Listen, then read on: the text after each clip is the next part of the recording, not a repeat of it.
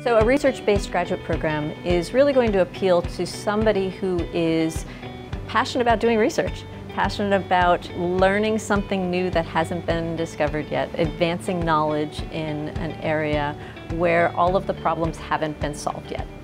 So a research-based graduate degree is going to lead to the creation of new knowledge and can be a two to three year program which is a master's degree or a much more extended program of four to six years and that would be a PhD program.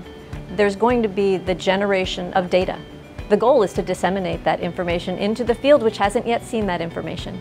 So that's going to involve piecing together your data into a story. It could be publishing in peer-reviewed journals. It could be presenting your information at a scientific or engineering conference and putting together your research story into a thesis. A master's program can be a very good stepping stone for someone who is not sure whether they want to put in the commitment for the four to six year time period that's going to be required to complete the work necessary for a PhD, to gain the depth of context and to create new knowledge in an appropriate manner that warrants a degree.